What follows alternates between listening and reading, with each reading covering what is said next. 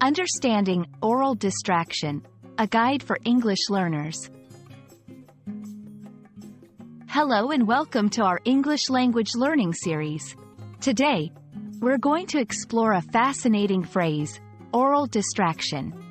Understanding this phrase is not just about adding new words to your vocabulary, but also about grasping a concept that is very relevant in our day-to-day lives. So, let's dive in and unravel the meaning and use of aural distraction. Aural distraction consists of two words, aural and distraction. Aural refers to anything related to the ear or hearing. It's derived from the Latin word auris, which means ear. In English, aural is often used to describe things that are perceived through hearing.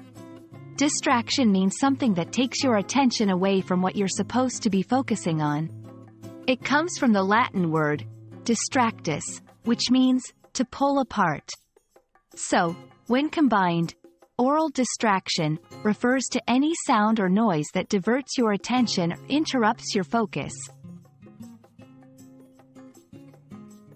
Understanding aural distraction is easier with examples. Imagine you're trying to study in a library, and someone's phone keeps ringing. That ringing sound is an aural distraction. Or, when you're having a conversation with a friend, and loud music from a nearby cafe disrupts your ability to listen.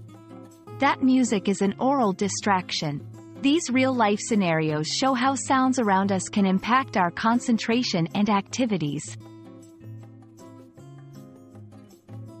Knowing about aural distractions is important because they can affect productivity, learning, and even mental health. Impact. Constant aural distractions can lead to stress, reduced concentration, and inefficiency in tasks. Management.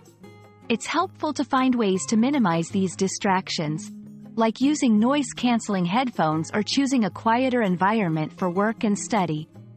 Understanding and managing aural distractions can significantly improve your focus and overall well-being. I hope this video has been helpful in understanding the concept of aural distraction. Remember, it's all about recognizing and managing the sounds around us that can divert our attention.